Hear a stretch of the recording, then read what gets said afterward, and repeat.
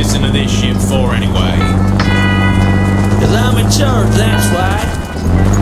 Oh, it don't seem like no good kind of reason to me. Also. Hey, what's that? Hold on a minute a second.